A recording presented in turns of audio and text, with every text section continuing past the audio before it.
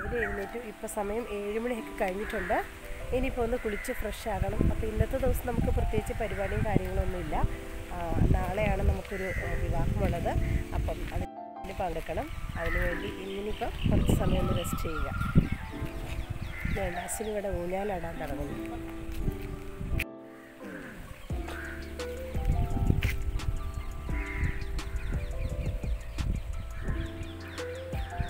ഇവിടെ കുറേ കളിക്കാനുള്ള പിള്ളേർക്ക് കളിക്കാനുള്ള ചെറിയ പാർക്ക് പോലെ കുറേ സംഭവങ്ങളൊക്കെ ഉണ്ട് കേട്ടോ. കോൺഫറൻസിനൊക്കെ വരുന്ന കുഞ്ഞുങ്ങൾക്കൊക്കെ വേണ്ടിയാന്ന് തോന്നുന്നു. എന്തായാലും നല്ല മനോഹരമായിരിക്കുന്ന ഒരു സ്ഥലമാണ്. ഒരുപാട് ഇഷ്ടപ്പെട്ടു.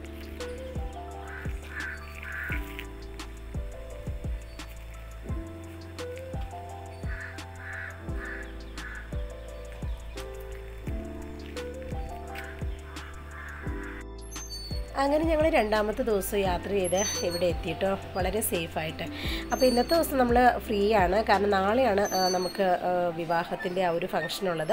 അപ്പോൾ അതിൽ പങ്കെടുക്കണം. അപ്പോൾ അതിന് വേണ്ടി ഇന്ന് ഫുൾ റെസ്റ്റ് എടുക്കാമെന്ന് വിചാരിച്ചു. പിന്നെ ഈവനിങ്ങിൽ ചെറിയൊരു ഫംഗ്ഷനുണ്ട് പെണ്ണിന്റെ വീട്ടിൽ അപ്പോൾ അതിനു വേണ്ടി പോകണം ആ, നല്ല മനോഹരമായിരിക്കുന്ന സ്ഥലം കേട്ടോ കാണാനൊക്കെ നല്ല രസമുണ്ട്. അച്ഛൻ രാവിലെ മാങ്ങപ്പഴം കഴിക്കണോ? അല്ല ആപ്പിൾ കഴിച്ചോണ്ടിരിക്കുക അയ്യോടാ. അമ്മയ്ക്കും താടാ. ഒരു കഷ്ണം കേടന്നല്ലേ ഇതാ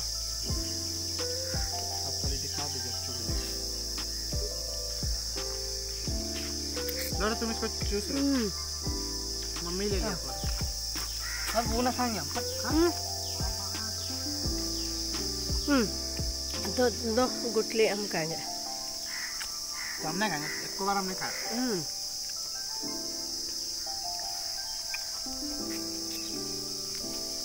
इधर उधर नहीं फेंकना। है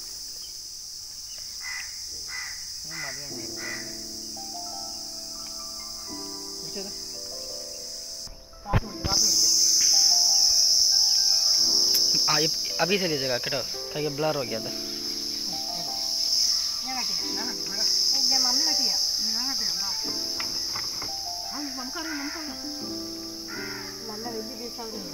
আসলে আসলে কোনো কাজ না ইউটিউব শর্টস এগুলো ডাউনলোড পারিস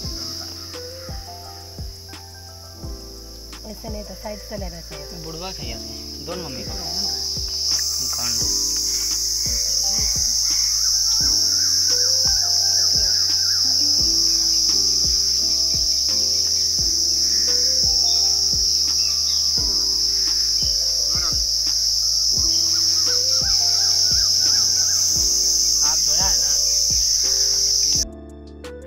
അപ്പോൾ ഇതിനകത്ത് ഒരുപാട് ചീവീടിന്റെ ശബ്ദം കേൾക്കുന്നുണ്ട് കേട്ടോ. കാരണം ഈ ഒരു സ്ഥലത്ത് ഒരുപാട് മരങ്ങളും അണ്ണാനും അതുപോലെ പക്ഷികളും ഒക്കെ ഉള്ളൊരു സ്ഥലമാണ്. അപ്പോൾ അതുകൊണ്ട് തന്നെ ചീവീടിന്റെ ശബ്ദം ഇങ്ങനെ ഒരുപാട് കേൾക്കുന്നുണ്ട്. അപ്പോൾ ഈവനിങ് ആയപ്പോഴത്തേക്കും ഞങ്ങൾക്ക് അവിടെ ആ പെൺകുട്ടിയുടെ വീട്ടിലൊരു ചെറിയ ഫംഗ്ഷൻ ഉണ്ടായിരുന്നു. അപ്പോൾ അതിനു വേണ്ടി പോകാനായിട്ട് എല്ലാവരും റെഡിയായിട്ട് നിൽക്കുകയാണ്. പ്രത്യേകിച്ച് നമുക്ക് ഇവിടെ വന്നിട്ട് ഇവിടുത്തെ ഭാഷ വലിയൊരു പ്രശ്നം തന്നെ കേട്ടോ. തെലുങ്ക് നമുക്ക് ആർക്കും അറിയില്ല. അപ്പോൾ അതുകൊണ്ട് ഭയങ്കര ബുദ്ധിമുട്ടിലാണ് നമ്മൾ നിൽക്കുന്നത്. പിന്നെ വേറൊരാളുണ്ട്. നമുക്ക് എന്താ പറയുക അദ്ദേഹത്തിന് ഇംഗ്ലീഷ് അറിയാം.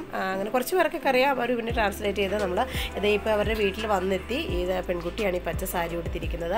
ശരിക്കും പറഞ്ഞാൽ നമുക്ക് പെൺകുട്ടിക്ക് ഇംഗ്ലീഷ് അറിയാം. അതുകൊണ്ട് നമ്മൾ സംസാരിച്ച് അതുപോലെ അവരുടെ വീട്ടുകാർക്കൊക്കെ ആണെങ്കിലും തെലുങ്കു മാത്രമേ അറിയത്തുള്ളൂ അതുകൊണ്ട് എല്ലാവർക്കും നല്ല സ്നേഹമാണ്. പക്ഷേ എന്താണ് നമ്മളോട് ചോദിക്കുന്നത്? അല്ലെങ്കിൽ നമുക്ക് എന്താണ് ചോദിക്കേണ്ടതെന്നൊന്നും അറിയാൻ പറ്റാത്തൊരവസ്ഥയായിപ്പോയി. അങ്ങനെ ഞങ്ങൾ ആ പരിപാടിയൊക്കെ കഴിഞ്ഞ് പിന്നെ തിരിച്ച് റൂമിൽ വന്നു. ഫ്രഷപ്പായി കിടന്നുറങ്ങി. പിറ്റേ ദിവസം ഇതാണ്. ഇന്നത്തെ ദിവസമാണ് നമുക്ക് മെയിനായിട്ട് മാരേജിന്റെ ഡേ ആണ്. ഇന്ന് നമ്മൾ പോകുന്ന സമയത്ത് നമ്മുടെ റൂമും കൂടെ വെക്കേറ്റ് ചെയ്തിട്ടാണ് പോകുന്നത്. എല്ലാ സാധനങ്ങളും നമ്മൾ പാക്ക് ചെയ്ത് വണ്ടിയിലാക്കിയിട്ടുണ്ട്. നമ്മൾ റെഡിയായിട്ട് ഇനിയിപ്പം ഇവിടുന്ന് വെക്കേറ്റ് ചെയ്ത് മാരേജ് നടക്കുന്ന ആ ഒരു ഹോളിലേക്ക് ഓഡിറ്റോറിയത്തിലേക്കാണ് നമ്മൾ പോകുന്നത്. മൂന്നാമത്തെ ദിവസം രാവിലെ റെഡിയായിട്ട് കല്യാണത്തിന് പോകാട്ടോ കല്യാണത്തിന് പോകുന്നതിന്റെ ഒരു ലുക്കാണിത് അപ്പം ഇവിടുന്ന് വിജയവാഡയിലാണ് നമുക്ക് വിവാഹമുള്ളത്. അപ്പം അങ്ങോട്ടേക്കാട്ടോ ഞങ്ങൾ പോകുന്നത്. അപ്പോൾ ഇനി ഓൺ ദ വേയിലെ കാഴ്ചകളും കല്യാണത്തിന്റെ വിശേഷങ്ങളും എല്ലാം നിങ്ങളുമായിട്ട് ഷെയർ ചെയ്യാം.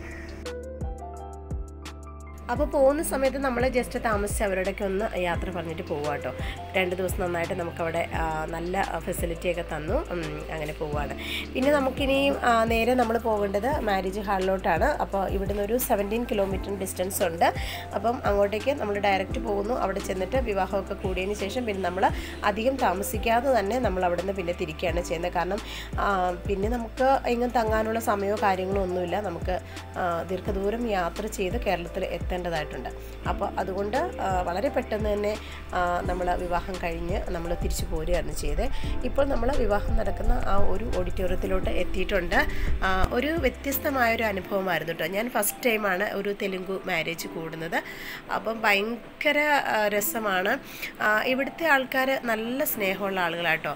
നന്നായിട്ട് നമ്മളോട് സംസാരിക്കാനും നമ്മളെ കൺസിഡർ ചെയ്യാനും ഒക്കെ നല്ല ഒരു ഇതാണ്. ഒരു ഒരുപാട് ഇഷ്ടമായി ഇവിടുത്തെ ആൾക്കാർ പക്ഷെ നമുക്ക് കമ്മ്യൂണിക്കേറ്റ് ചെയ്യാനുള്ള ഒരു ബുദ്ധിമുട്ടുണ്ട്. കാരണം ഒട്ടും നമുക്ക് ഭാഷ വാശമില്ല അതിന്റെ ഒരു ഇതാണ്. വിവാഹമൊക്കെ അപ്പം അങ്ങനെ നടന്നുകൊണ്ടിരിക്കുന്നു. നമ്മുടെ കേരളത്തിൽ നിന്ന് ഞങ്ങളെ പഠിപ്പിച്ച സാറുമാരും ഒക്കെ വന്നിട്ടുണ്ടായിരുന്നു. അപ്പോൾ അവ അങ്ങനെ അവരുടെ കൂടെ കുറച്ച് ഫോട്ടോസും കാര്യങ്ങളൊക്കെ എടുത്തു.